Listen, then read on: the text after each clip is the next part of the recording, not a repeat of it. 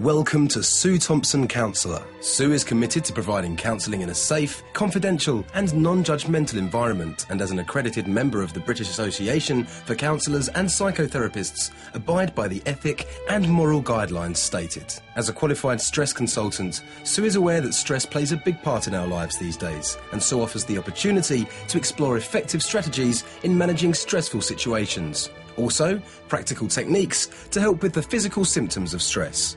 Get in contact today to find out more.